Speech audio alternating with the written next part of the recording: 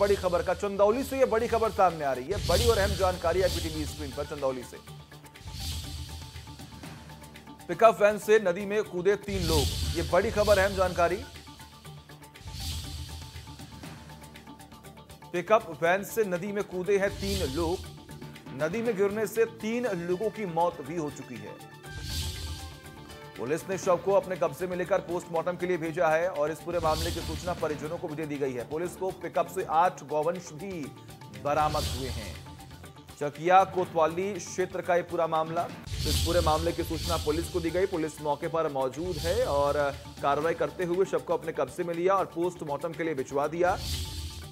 नदी में गिरने से तीन लोगों की मौत हुई है। हालाँकि खबर ये भी है कि उस पिकअप में कौवंश जो है, वो मिले थे।